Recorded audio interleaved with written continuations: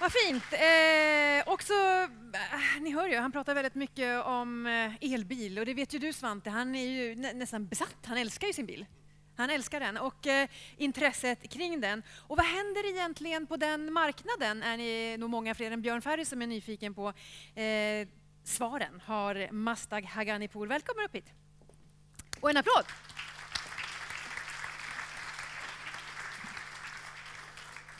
Tack så mycket. Det händer ju mycket på eh, elbilsfronten. Det händer så mycket så att jag hinner knappt eh, raka skägget som ni märker. eh, jag kommer från ett bolag som heter Power Circle. Vi är en intresseorganisation som jobbar med att främja svensk elkraft och visa på elens nytta. Och efter det här fantastiska paret som har pratat innan mig så ska jag inte prata så mycket om Eh, sådana här tråkiga saker, utan vi går direkt in på det jag ska prata om. Den här bilden är tagen i New York i början av 1900-talet. Den är tagen med en iPhone 3, det är därför det inte är så bra kvalitet. Men eh, om man studerar den här lite noggrannare så ser man att det är väldigt mycket häst och vagn. Är det någon som ser en eh, bil i den här bilden? En motordrivet fordon.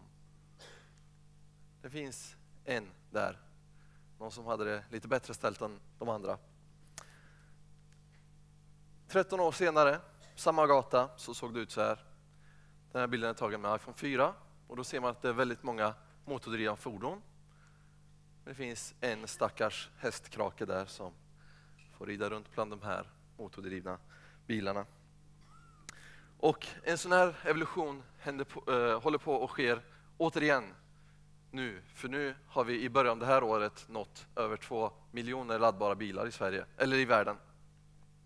Och det är inte bara i världen, utan även i Sverige så går det ju väldigt snabbt. Eh, ni ser att eh, den här kurvan håller på att formas till en hockeyklubba, som man brukar prata om. Att den går exponentiellt då. Och vi har i Sverige idag eh, närmare 38 000 laddbara bilar varav en tredjedel är rena elbilar och två tredjedelar är eh, laddhybrider. Då. Och vår prognos tyder på att vi kommer nå 44 000 laddbara bilar i slutet av året i Sverige. Och även regionalt här i, Jämtland så går det väldigt snabbt. Idag finns det över 400 laddbara bilar i länet. Och för er som är intresserade så finns det ju en hel del bilar att välja på. Ni ser några av dem eh, här utanför idag och ni kan, jag tror att man kan provköra dem också. Eh, men ute på marknaden så finns det över 50 modeller att välja på, så det finns någonting för alla. Och blickar vi lite framåt då så är det en hel del modeller som är på gång också. Den här listan visar de bilmodeller eh, som är på gång, som har blivit utannonserade, som är rena elbilar faktiskt och de flesta kommer ha en räckvidd på över 30 mil. Förutom elbilarna så är det också en hel del eh, laddhybrider som är på gång, Så kommer de närmaste åren här. Så hittar man inte sin eh, favoritmärke just idag så kommer den säkerligen finnas på marknaden om ett eller två år bara. Eh, I och med att antalet modeller ökar, eh, de blir också billigare i pris, räckvidden ökar och så vidare så förväntas de här eh, laddbara bilarna öka. Och våra prognoser tyder på att någon gång 2030 så kommer vi ha en miljon laddbara bilar i Sverige. De här bilarna behöver också laddas någonstans ju. Och laddinfrastrukturen den börjar se ganska bra ut. Det ser lite tunnare ut eh, i norra Sverige. Ehm, men generellt så ser det bra ut och, och tillväxttakten är ganska hög. Har ni inte hunnit räkna prickarna där så kan jag tala om att det är över 3700 publika laddpunkter i Sverige idag. Men det viktiga att komma ihåg är att det finns massor med eh, laddare hemma, för det är där man laddar i första hand. Hemma på arbetsplatsen. Det här är ju bara de publika laddarna. Då. Och även i regionen här så växer ju antalet eh, laddpunkter och idag så finns det över 200 platser att, att ladda sin eh, elbil eller sin laddhybrid på eh, i Jämtland. Den här laddinfrastrukturen den utvecklas ju också. Idag så kan man ladda antingen snabbladda då, det går lite snabbare, cirka 30 minuter för en, för en vanlig elbil. Eh, eller så kan man ladda när man ställer sig och, eh, vid shoppingcentret eller så, då tar det lite längre tid. Eh, men man uppehåller sig med annat. I framtiden här så kommer de här effekterna att öka. Man kommer kunna snabba, ladda bilen snabbare. Och biltillverkare pratar om effekter på upp till 350 kilowatt, alltså sju gånger snabbare än vad man laddar sin elbil idag. Då.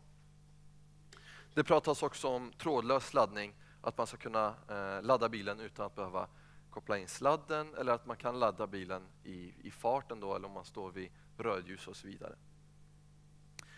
Nu har vi en spännande tid framför oss och eh, vi hörde ju på lite från politiken idag eh, tidigare i morse att det sker en hel del satsningar även där. Då. Idag så har vi ju supermiljöbilspremien. Eh, vi har reducerat förmånsvärde på laddbara bilar och vi har Klimatklivet som, eh, där man kan söka pengar för att sätta upp laddstationer bland annat. Men eh, Per då pratar ju om det här bonus-malus-systemet. Där kommer det finnas 60 000 kronor för den som köper en ren elbil. Då. Det pratas också om ett ladda hemma-stöd, att eh, den som väljer att köpa en elbil och sätta upp en laddbox hemma eh, Eh, kan få ett litet bidrag för det. Man pratar om ett nationellt snabbladdarnät så att man kan ladda sin eh, bil även på långresan. Då. Det kommer också ett elmoped eller elcykelstöd och en hel del annat som är på gång, eh, miljözoner och så vidare. Så att ni ska få gå på lunch snart, men för att sammanfatta det hela så eh, har jag försökt berätta att elbilsboomen är nära på grund av att priserna sjunker, räckvidden ökar, vi har fler och fler modeller att välja på. Det är bra styrmedel på gång från politiken och när man frågar svenska folket så vill nio av tio personer byta till en elbil. Och de tre största problemen har ju eh, hittills varit kort räckvidd, högt pris och, och, få publika laddpunkter. Och lägger man ihop ett plus ett så ser man att Ehm, det, det, ser ganska ljust ut. Ehm, biltillverkarna de håller på att fixa det här med räckvidden och priset. Och då är det upp till oss resten att fixa det här med den publika laddinfrastrukturen så att bilarna också går att köra på ehm, på längre turer. Då. Och våra prognoser det baseras ju på en hel del antaganden men det kan också gå mycket snabbare än man tror. Eh, och det har det gjort på många andra eh, elektroniska eller tekniska prylar som, som platt-tv, mobiltelefon, smart, eh, smarttelefon och så vidare. Och det, det kan också gå mycket snabbare för, för elbilen. Då. Det här eh, vill jag avsluta med. Det här är en riktig E-Type. Eh, en, eh, även Jaguar som, som har de här bilarna har eh, förstått att det är eldrift som är framtiden och de har tagit fram den här eldrivna E-Typen. Tack för mig. Tack så mycket Marstak. Och eh, här föreställer sig både Svante och jag att ni har många frågor. Svante, börja kör du så ska jag Ja, jag tänker till kanske det som snackisen är ju det batterierna som man pratar om nu. Eh, och det är ju alltid så ofta att någonting är fantastiskt skönt och trevligt och sen blir det bakslag och så hittar vi en annan väg framåt. Men hur argumenterar du då när man hör folk säga att det är batterierna och man måste köra så här många varv runt jorden? Och när betalar man tillbaka klimatskulden? Just det. Vi, vi kan ta lite bakgrunden kring det här. Det var ju en, en studie från eh, IVL, då, Svenska miljöinstitutet, som, som kom ut för ett tag sedan, eh, där de hade tittat på batteritillverkning och kommit fram till att en elbil har släppt ut mycket mer än en avgasbil eh, innan den ens har kommit ut på vägarna. Eh, och det berodde mycket på hur batteriet tillverkades då. Eh, den studien eh, är väldigt bra. Det är bra att man lyfter upp frågan och det är viktigt att eh, biltillverkarna eh, har ansvaret att titta på tillverkningen ända från liksom eh, gruvorna där de här materialen utfinns tills att bilen är helt färdig. Eh, men man måste också tänka på att det här är en teknik som håller på att utvecklas. Eh, tillverkningen av elbilar eh, är ganska ny fortfarande jämfört med hur länge bensin och dieselbilen har producerats och utvecklats. Så att utvecklingen kommer bli bättre och bättre och man måste också komma ihåg att batterierna eh, används inte bara i bilarna utan många av de här biltillverkarna har ju program för att ta tillbaks batterierna och använda dem i andra tillämpningar när den inte duger för elbilen längre. Mm.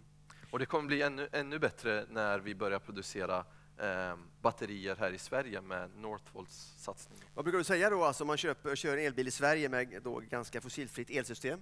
Eh, hur länge måste man eh, köra för att betala tillbaka den? Och sen har ju fossilbilen också en eh, skuld när den också startar, så det är inte bara noll mot ett. Så är det ju. Jag, jag brukar inte säga så mycket själv, utan jag, jag tittar på de studier som finns. Precis. Ja. Men jag tittar på de studier som finns och tittar man på exempelvis, eh, finns ett tyvet eh, tyskt eh, en tysk organisation som har gjort en studie där man har tittat på exempelvis en Mercedes då, mm. och jämfört den dieseldrivna med den eh, bensindrivna och den eldrivna. Och det visar sig att kör man en elbil i Sverige med ett eh, rent elsystem mm. så har man eh, sparat 60 procent i utsläpp mm. jämfört med den eh, bensindrivna versionen. Under hur lång tid då?